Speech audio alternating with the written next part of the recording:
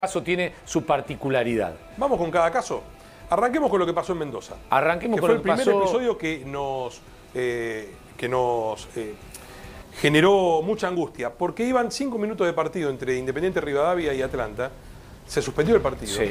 Pero lo que vimos fue a este con una faca, con un arma blanca y personas con chicos en brazos Sí. en esa tribuna en la que andaba amenazando con el arma blanca. Vos tenés acá dos facciones. Una que es la que domina la barra. A ver, para entender, yo sé que, que la gente dice, pero ¿en serio pasa eso en el fútbol argentino? Sí. La barra está dominada por una familia que se llaman los Jofré.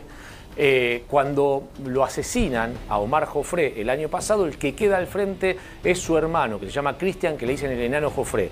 Y la barra de Independiente Rivadavia Mendoza tiene todo su asiento en un lugar de Mendoza, del Gran Mendoza, que se llama Parque Sur.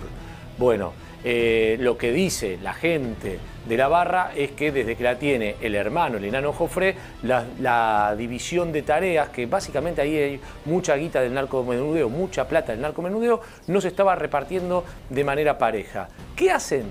Dos hermanastros, insisto con esto, tengan en cuenta que estamos hablando de una pyme familiar, es la barra de Independiente Rivadavia Rivadavia Mendoza. Dos hermanastros se abren, forman una barra disidente con gente de un grupo de Villa Hipódromo, que es una villa está detrás del hipódromo de Mendoza, y los empiezan a enfrentar. Eh, no los logran sacar fuera antes de, de la reanudación del torneo, entonces los van a buscar en el partido contra Atlanta y ahí es donde se produce el ataque con armas. Ahora vos decís, bueno, están todos presos, ¿no? Porque están todos filmados, están todos presos. No, no hay uno, no hay ni un detenido. Y hay algo ¿De esto peor. del 9 de febrero? No hay ni un detenido, con algo que además es un agravante.